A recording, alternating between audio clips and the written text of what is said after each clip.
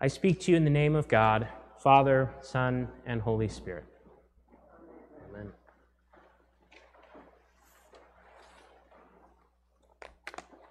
So tonight we begin our journey of Lent. We think of it as a journey, as a pilgrimage, as joining with Christ on his journey toward Jerusalem, toward his suffering, toward his death, and ultimately toward his resurrection.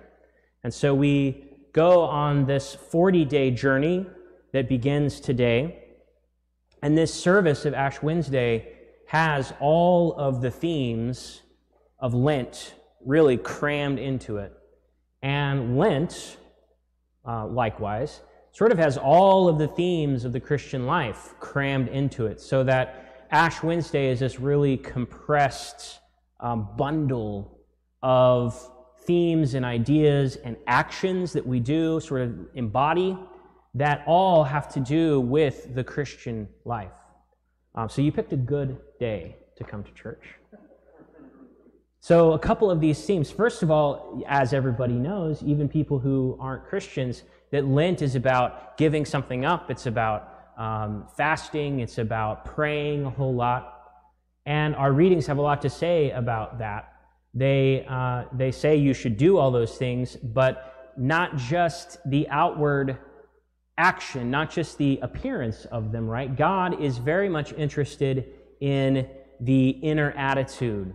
God is very much interested that instead of fasting and praying and making a big show out of it, and then going off and fighting with people and um, speaking evil about people, lying to people, instead of going off and exploiting people and then coming to church and praying and fasting, God calls that hypocrisy. Likewise, what Jesus says, which I always think is funny on, on Ash Wednesday, to read uh, that passage of Matthew, and it was done intentionally. That tension is, is given to us intentionally, where Jesus says, if you're going to fast, don't look dismal. Don't, like, you know, rub stuff on your head. Um, you know, don't go around looking like you're all holy. And yet, we, you know, we are going to put some stuff on our head if, if you want. Um,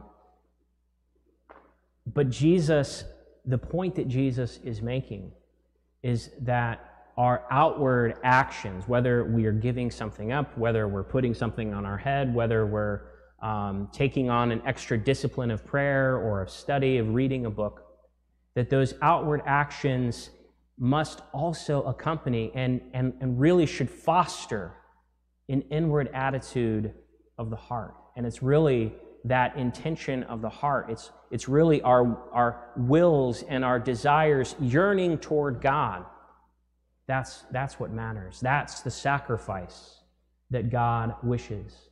It's really striving for justice with other, with other people and, and, and exhibiting what the kingdom of God looks like on this earth. That's what our, our outward action and our inward life should be about. Another theme that Ash Wednesday um, wraps around for us is the theme of death right? Preparing for our death. When um, in a moment, when we do those ashes, we'll say that you are dust, and to dust you shall return. And so we are invited to contemplate our death and to prepare our death. And that's really what the Christian life is about, is about preparing to have a good death. Our psalm, Psalm 103, um, that has all of these themes in it, it talks about how God knows who we are. God made us. God knows, the psalmist says, that we are dust, that our days are like grass, that we flourish like the flower of the field and then we wither away. But, the psalm says, the merciful goodness of the Lord endures forever. And so, the theme of death, the theme of fasting and giving things up, it's, it's about also the theme of sin, right, and the repentance of sin. We'll read in a moment Psalm 51, which is this great psalm of repentance. It's King David repenting for his great sins. And he says, Wash me through and through from my wickedness and cleanse me from my sin. And when we exhibit that repentance, the psalmist says that God will cast our sins as far as the east is from the west. Bless the Lord, O my soul, the psalm says, and all that is within me. Bless his holy name, because he forgives all our sins and he heals all our infirmities. But it isn't just our sin that we are repenting tonight for, and, and we should. And, and, and Lent is a period where we contemplate our weaknesses and our sins, and we repent from them and we try to amend our lives. But it is not only that. Our reading from Second Corinthians talks about how Christ became human and took on sin onto himself, even though he personally was without sin. We are the body of Christ.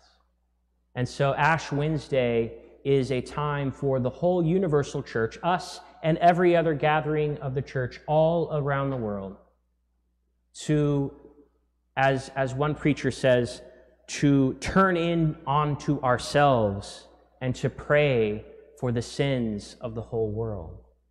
As the body of Christ, we are taking on the sins of the whole world and we are praying to God for forgiveness and mercy. We're praying to God for peace in our time. We're praying to God that God that that that heaven comes down to earth and that our our life here on this earth matches more and more what God intends for it to be.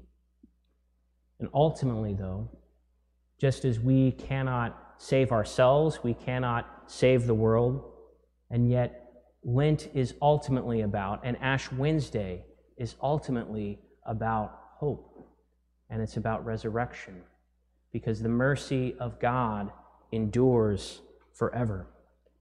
Our Psalm 103 says that God redeems our life from the grave and crowns us with mercy and loving kindness. I really love this tradition of the early church. So, fast forward 40 days, it's Easter, right? It's, it's Easter morning before the sun has dawned and Christ has just come back to life after being dead for three days after descending to hell. The tradition of the church is that the Psalms are Christ's prayer. And the psalm that Christ begins to pray the moment he comes back to life is the psalm that we're about to pray here in a few minutes, Psalm 51. And so as Christ takes that first, and, and it's all about the sin right? And, and God's mercy washing away that sin. And then as Christ takes his first breath, the first thing that he says is Psalm 51:16. Open my lips, O Lord, and my mouth shall proclaim your praise. That's also the opening line of morning prayer. And we're going to say it here in a few minutes. I love that idea that that is were Jesus' first words after he came back to life. That is what Lent is ultimately about. It's about the mercy and forgiveness of God, it's about resurrection, which is more powerful than death. And so, even as we lament our sins and the sins of the whole world, this is really about praise. We can make our prayer the same prayer as David when he originally wrote Psalm 51 the same prayer as Jesus when he came back to life on that third day, we can say, Open our lips, O Lord, and our mouth shall proclaim your praise, because God's mercy is everlasting. Amen.